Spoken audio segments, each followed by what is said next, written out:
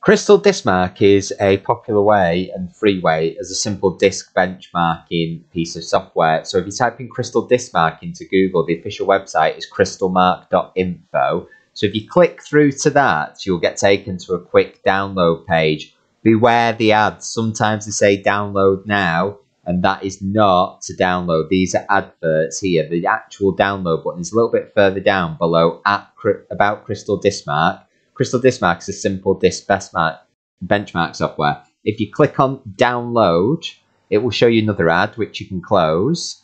And then it will take you here. There's a standard edition, which is fine for everybody. So if you, you can either download the zip version for XP and above or the installer for Vista and above. So we would recommend the installer. If you click on that once, it will take you through to another page where it should automatically start downloading the installer for CrystalDiskMark.